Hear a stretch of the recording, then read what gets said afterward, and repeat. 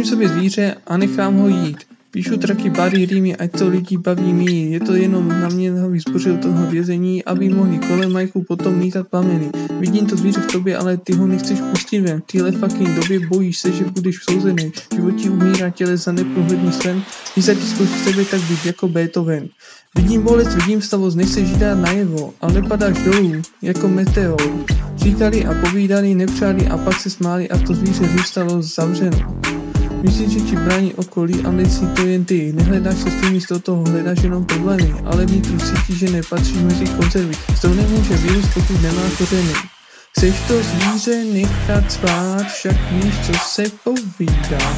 Oni se ti budou smát a tak radši není švát.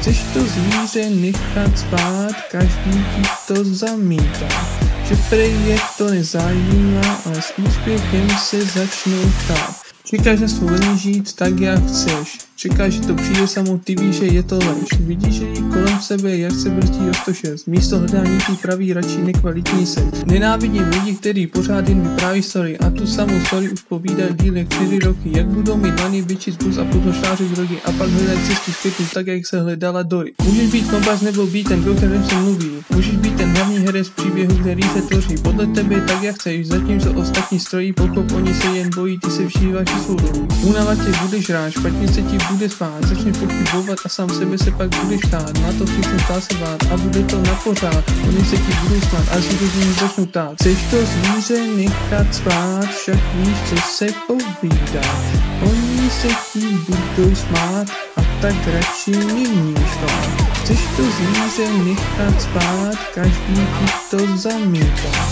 Že prej je to nezajímá a s úspěchem se začnou ptát tak mi řekni jednu věc, jestli to má takhle bejt.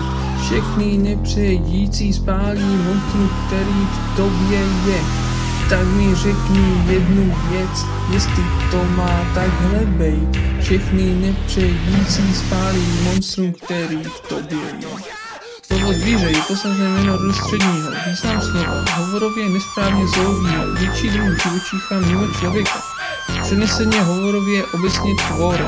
Hanlivě člověk, který nemá zábrany, člověk, který snadno podléhá svým tům. Zdroj Wikislovník. Chceš to zvíře nechat spát, však víš, co se povídá. Oni se tím budou smát a tak radši není špát. Chceš to zvíře nechat spát, každý ti to zamítá že prej je to nezajímá, ale s úspěchem se začnou ptát.